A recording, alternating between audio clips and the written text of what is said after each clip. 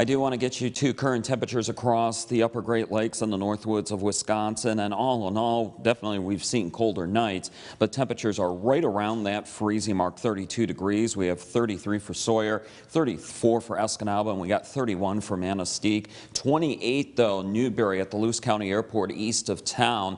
And I also want to show you the visibilities here. And visibilities at the Luce County Airport is down to a half a mile, so definitely some fog heading east on M28 temperatures below freezing, some fog developing in the eastern UP. That could cause some icy roadways, so please be careful. And same across portions of the western UP and the north woods of Wisconsin with temperatures right around that 32 degree mark. Some of the roads heading south towards Eagle River and Rhinelander might be on the slick spot dense fog advisory actually in effect for western Wisconsin. No dense fog advisories for the eastern UP. And as we look at our radar and satellite, you can see we do have cloud cover continuing to move on through. Some spotty precipitation as well. As we widen out the view, you can see not much in the way of heavy precipitation across the Great Lakes region. But as we continue to widen out the view, I got to point your attention across the desert southwest. That's our next storm system heading this way to upper Michigan. The low pressure system is going to form across across portions of eastern Colorado and head this way and bring us widespread rain as we go into tomorrow night. So here's our local 3 futurecast. I'm just going to roll this through tomorrow until tomorrow afternoon. You can see through 4.30 tomorrow afternoon a good deal of cloud cover and at times maybe some spotty rain showers and maybe some spotty wintry precipitation. But all in all, it's going to be light. Just be careful of some patchy fog in some spots tomorrow morning across upper Michigan and maybe some patchy freezing fog.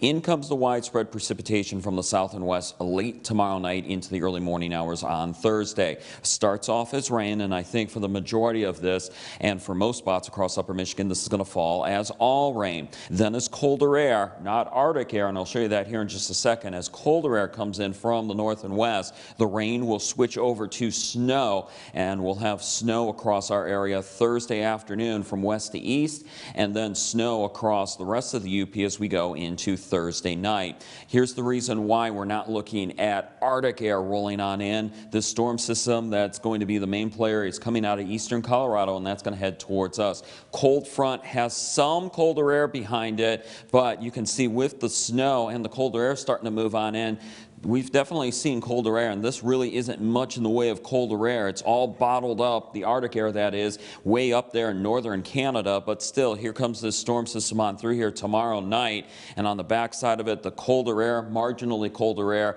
will switch the rain over to snow as we go into the nighttime hours on Thursday. Snowfall forecast as we go into the daytime hours on Thursday and on into Thursday night. You can see the higher totals here are going to be across the west western UP with the highest amounts expected to be in the higher terrain of the Keweenaw Peninsula and west of Marquette and also parts of the western UP around Ironwood. Temperature forecast tonight, a couple of inland spots fall in the 20s, closer to the shorelines of the Great Lakes in the 30s. Here's your extended forecast. We're looking at temperatures in most spots, 30s and 40s the next couple of days, a little bit chillier as we go into the daytime on Friday.